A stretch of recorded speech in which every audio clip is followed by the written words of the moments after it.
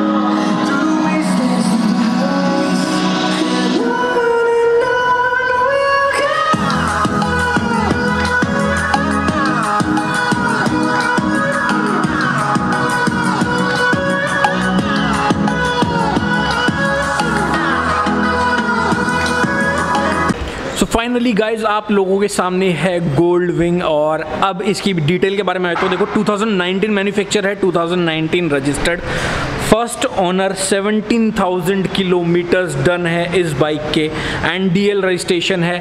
Price रहेगा इसका on request cruiser planet पे। आपके सामने सामने यार पूरी डील है। मुझे इससे ज़्यादा कुछ नहीं कहना। पूरी बाइक बिल्कुल यार एक नंबर मतलब सीरियसली यार मज़ा आ गया इस कलर को देखने का।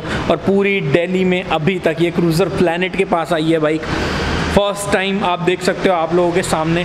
आई होप आपको ये व्लॉग पसंद आया होगा। मिलता हूँ आपसे अगले व्लॉग में। तब तक के लिए till then take care love you all अपना प्यार बनाए रखना। Thank you so much guys previous video को आप लोग काफ़ी प्यार दे रहे हो। ये बाइक अगर किसी भी भाई को लेनी है ना ये बहुत ही एक्सक्लूसिव बाइक है। कोई एक आधा बंदा होगा जो इस चीज़ का शौकीन होगा भाई।